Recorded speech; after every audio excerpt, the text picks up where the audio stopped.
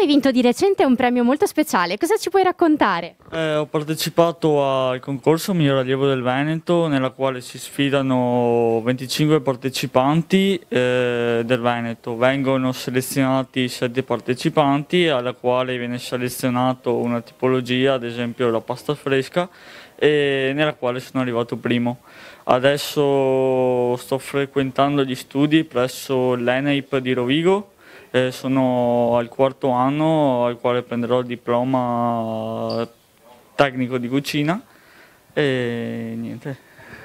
Sei qui ad Alicanto per uno stage dunque? Sì, sono qui dal primo di dicembre e continuerò fino a fine giugno. Quindi a Natale troveremo te in cucina? Certamente.